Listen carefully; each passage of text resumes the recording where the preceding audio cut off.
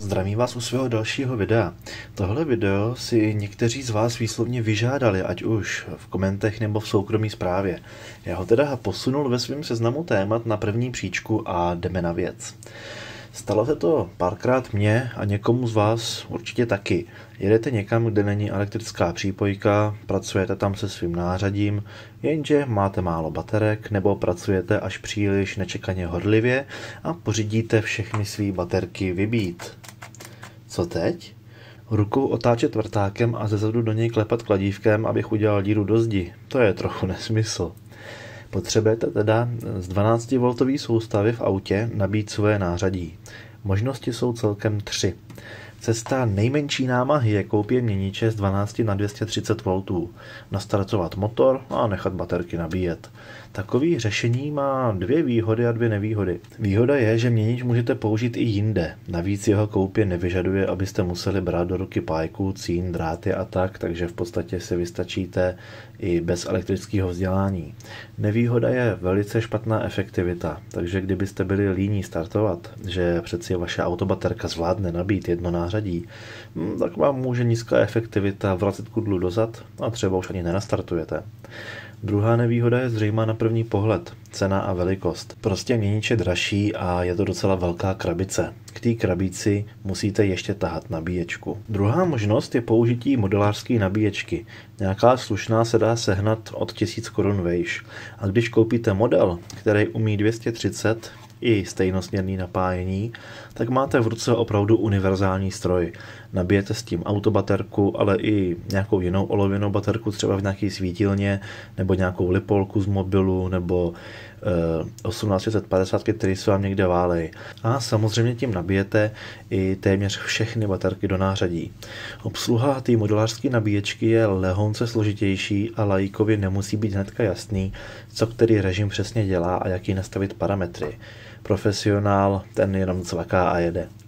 Na to taky někdy udělám možná video, mám to ve svém seznamu. Takže modelářská nabíječka je mocná věc, umí toho hodně, ale pokud by měla plnit pouze jeden jediný účel, je možná zbytečně složitá a drahá.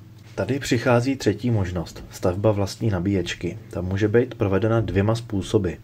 YouTube kanál Kuba64, na který vám dám odkaz na konci videa, provedl ten první způsob. Z funkčního hlediska elegantní úpravu Parkside nabíječky na 12 V.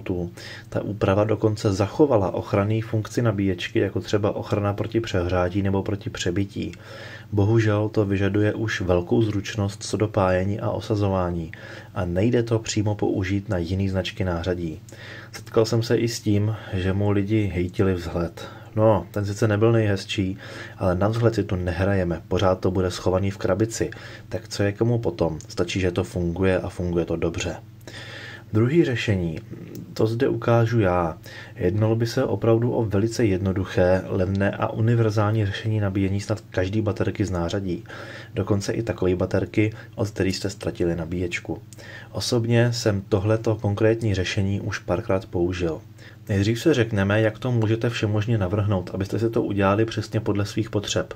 A pak si jednu z těch variant postavíme na video. Měnič je potřeba na transformaci napětí. My to napětí budeme většinou zvyšovat, takže se podívám, jak například dopadl můj test spínaných měničů, ze kterého jsem dělal i video. A vidím, že asi nejlepší bude použít Buckboost CCCV měnič za 66 korun. Ten umí konstantní proud a je efektivní. Pokud máte doma jiný vhodný boost nebo bug boost měnič, který umí CCCV, tak můžete použít i ten svůj. Měnič si nastavíme až na závěr. Musíme si taky promyslet, jak udělat vstup. Začnu tím jednodušším. Kdybych chtěl nabíjet, i když neběží motor, tak si musím dát pozor, abych si nevytlouk baterku. On ten Zepik měnič je schopný ji vybít až na nějakých 5 V. Pokud budu chtít takovou ochranu při nenastartovaném motoru, můžu koupit například tenhle ten modulek. Ve skutečnosti má víc různých variant, tahle je z nich nejjednodušší. Tady na tom trimru si můžu nastavit, při jakém napětí má odpojit nabíječku. Já bych tam nastavil třeba 12,6 V. Vy podle stáří své baterky. Tenhle ten modulek prostě zapojím mezi konektor do auta a měnič. Tady je vstup z auta a tady je výstup do měniče. pozor na polaritu. Asi vás napadne, proč nenabít svoje nářadí z powerbanky. Není to dobrý nápad.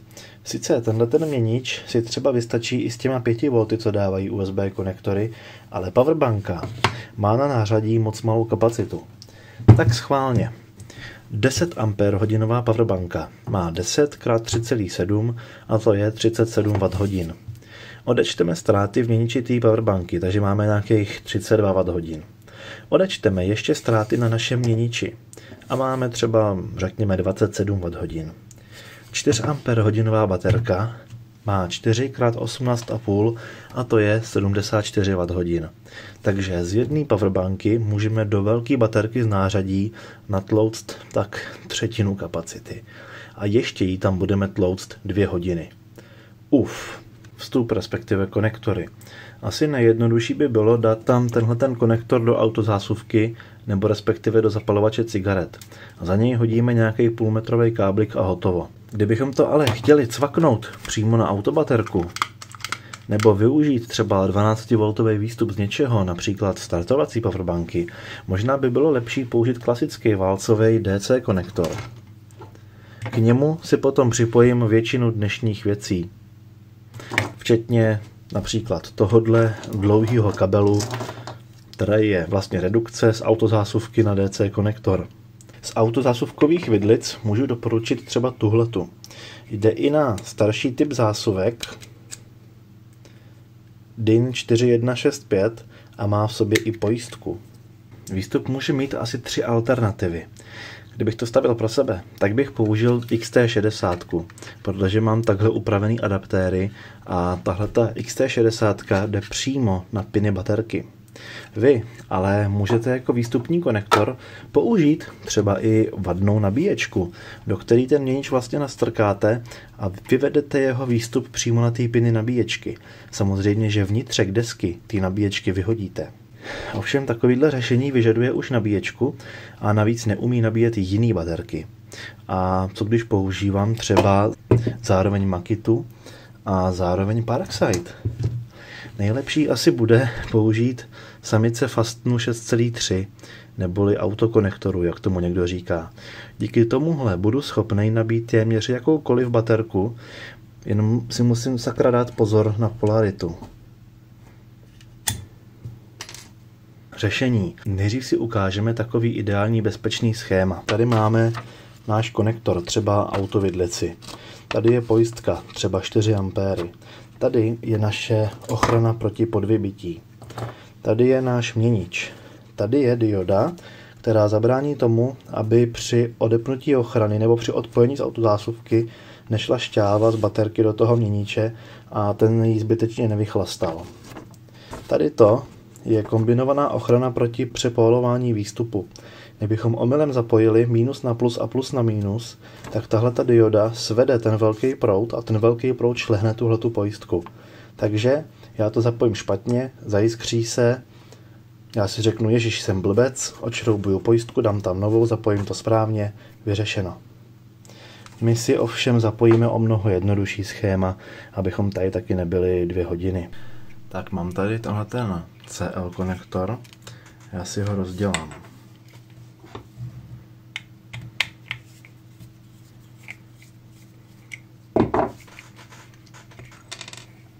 Pozor, někde tady vystřelí. Tady ta špička.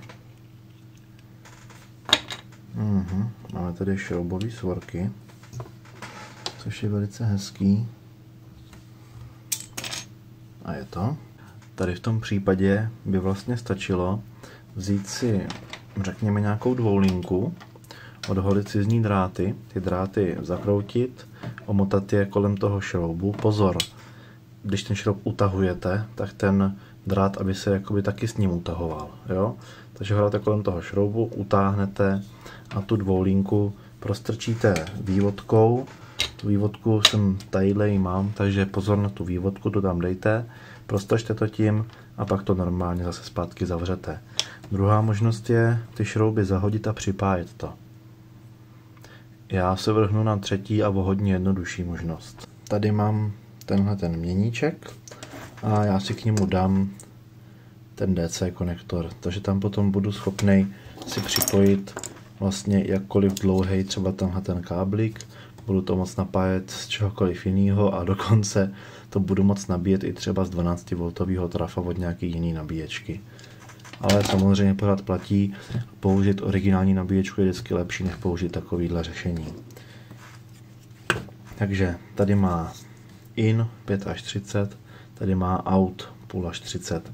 Takže já se připojím na vstup. Nahřeju si pájku.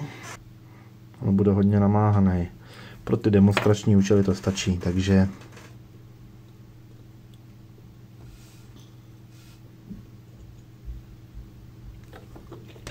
No, akorát to bude pěkně daleko od sebe.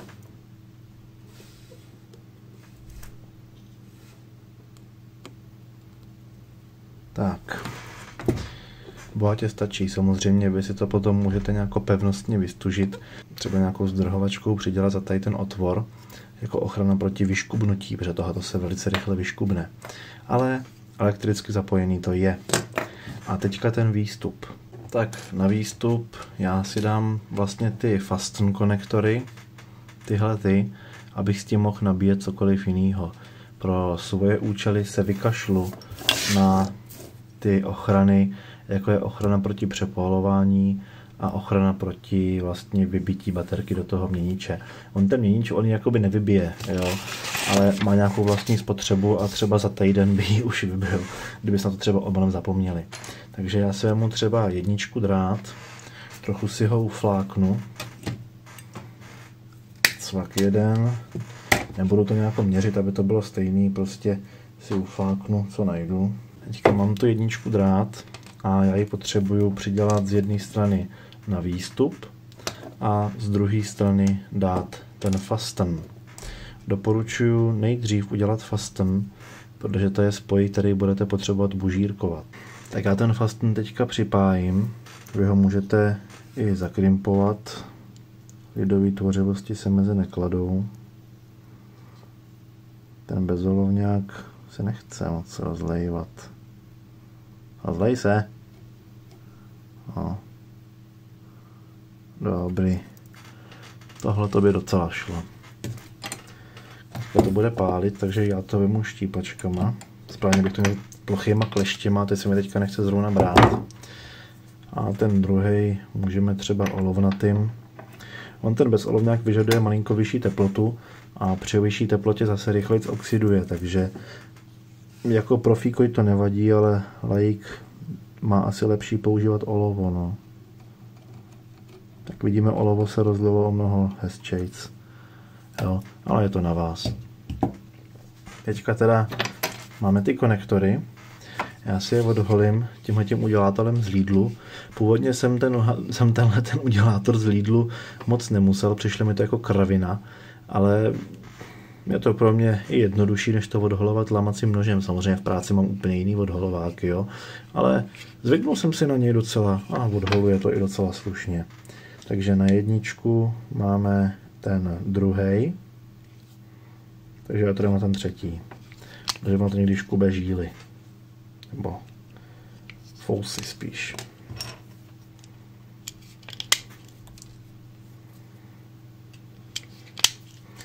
Tak, máme to odholený. Teďka si to pocínujeme. Já proto použiju bez olovňák, protože proč ne? Tady v tom případě to je úplně jedno.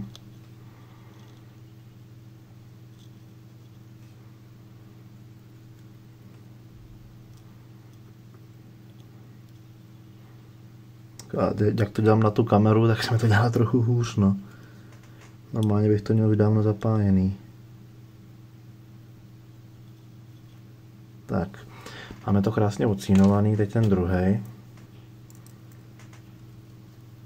Doufám, že mi ten kous té kalafony se neusadí na foťáku. Bych to nemusel mít izopropanolem. Jak vidíme, s tím bezolovňákem nejsou nějaký moc problémy. Já na takovýto nenáročný používám bez olovňák a na náročný používám olovňák. No. Zase něco pro tu přírodu jako rád udělám. Teďka si připájíme ty konektory. Tak pojď.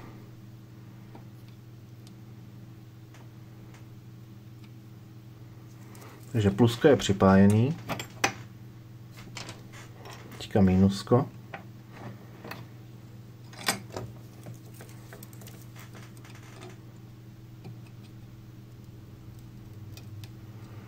Ten konektor někdy mu trvá, než se prohřeje. Potom není od věci si dát větší teplotu na té pájce, aspoň moc neublížíte ty izolaci. Oni ty dráty mají PVC izolaci, to znamená, že při nějakých těch 300 stupních ta izolace už jako docela dost měkne a nelíbí se jí, že je moc horká. Teďka, ještě než přidělám tu druhou stranu, tak použiju smršťovací bužírky. Já si zvednu kameru. Pohon klikový, kdyby jsme byli v roce 1800. no, přidělat si servopohon. No, by bylo zajímavé dát si servopohon na stativ. Takže první, co udělám, že si vezmu plochý kleště, a tady si můžeme všimnout, že ten fasten má ostrý nožičky. Samozřejmě pokud jste ho krimpovali, tak tady ten krok vynechte. Já ovšem provedu zaostřit otvora. Tak.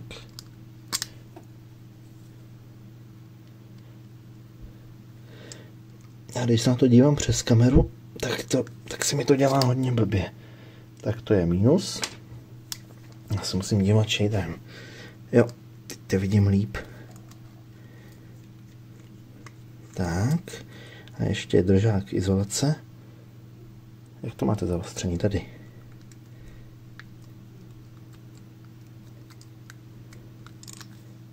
Tak. Tady to máme krásně zadělaný. Zjistím si, tenhle ten by tam třeba šel.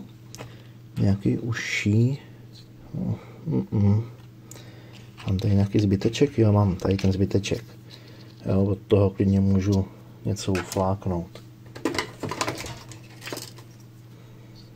Tak, cvak. Teď ten černý, ten bude obdobný. Třeba to by šlo. Tak já si je tam navlíknu. Jako ty božítky dávat nemusíte, jo. To je v podstatě na vás. Vemu si pistoli, nastavím si ji na horkej. Chvilku počkáme, než se ohřeje. Já nápad, a to zavrstřím manuálně. Tak.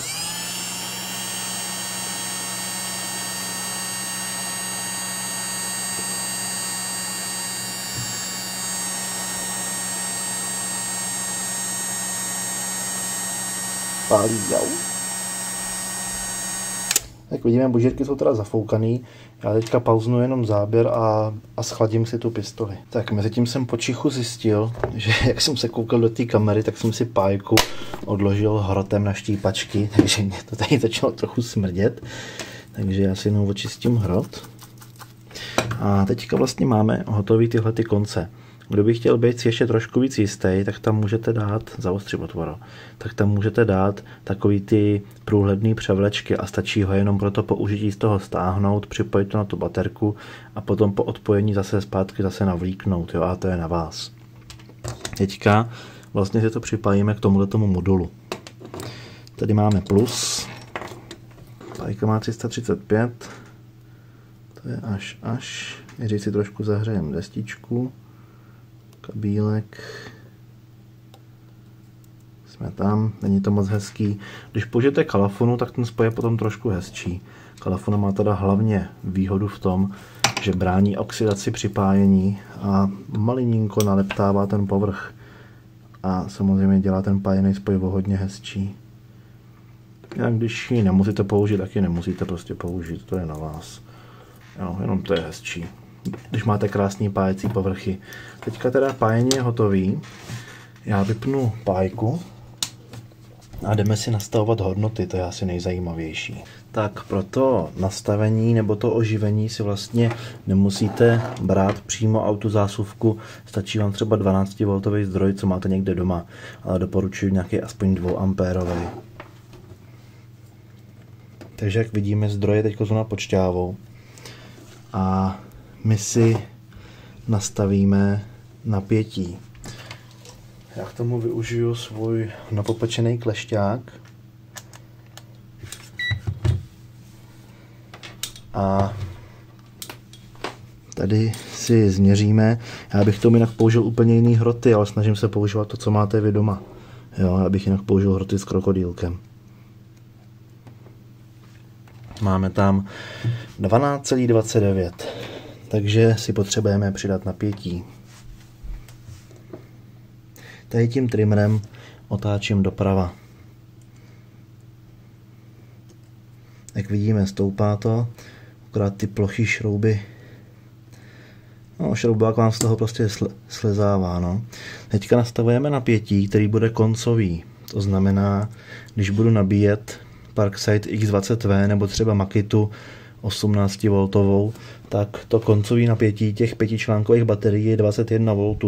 Doporučuji dát malinko míň, tohle je třeba v pohodě, ale chybu neuděláte ani kdyby to mělo rovných 20. Pokud máte tříčlánkovou baterii, třeba Parkside X12V nebo Devalt 10,8 nebo Makita CXT a tak dále, tak maximální napětí je 4,2 x 3 a to je 12,6 V, takže bych nastavil nějakých třeba rovných 12.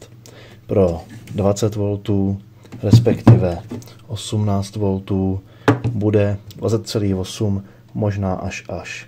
A teďka prout proud si musíme nastavit proto, aby nám tenhle ten měnič nespádl třeba pojistku v autě. Pro nastavení proudu doporučuji nějaký zásady, který vyloženě udělat nemusíte, ale já vám je přesto doporučím. A to je prvně ten proud stáhnout na minimum kvůli velké špičce. Druhá věc je, že vy vlastně to, to první připojení pro to měření proudu je lepší pro víc, že nejdřív zapojíte výstup a pak teprve vstup. Jinak teďka bych přivedl do zkratu plných 20 V a to by byla docela slušná rána. Takže já teďka si odpojím napájení. Tohle to si šlusnu. No, ještě byl nabitý kondenzátor. A tohle si přepnu na měření proudu.